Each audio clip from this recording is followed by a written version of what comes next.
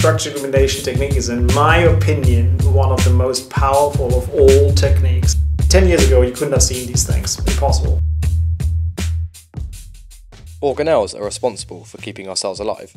Their interactions usually keep us healthy, but sometimes they cause disease.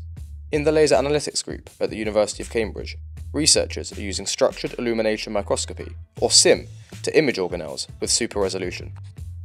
We can treat the diffraction limit and resolution as a low-pass filter. Points spatially far apart, i.e. those at lower frequencies, can be resolved by the microscope. Points in the image too close together, i.e. at higher frequencies, cannot be resolved. The lower spatial frequencies which can be resolved can be plotted as a white circle, and those too high to be resolved as the black region.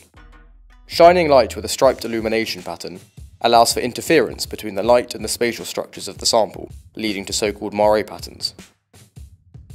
These moire patterns encode some of the higher frequency information about the smaller spatial structures that can't be picked up with a regular microscope. Rotating and phase shifting this light source produces more moire patterns, which reveals new higher frequency information.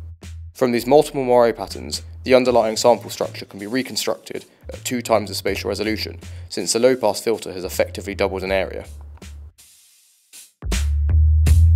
Let's see this in the lab.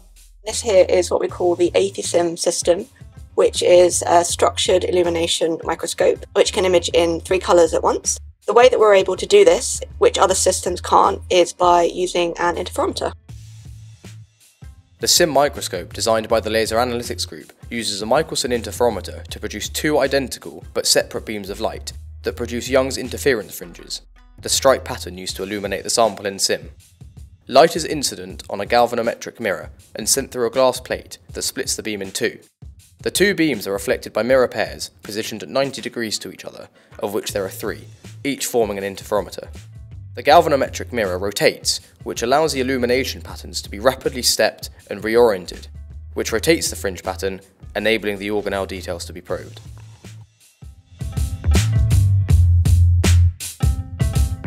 Here what you see is uh, what's called the endoplasmic reticulum and you can see it's dynamically moving really quickly and you would never see this detail with any other technique. You can uh, look at things that are smaller than the wavelength of light. We are now beginning to actually see in real time with this method, with structural illumination microscopy, how these organelles are orchestrating essentially how the cell lives, divides and dies. SIM has real potential to allow us to see how the subcellular machinery is working.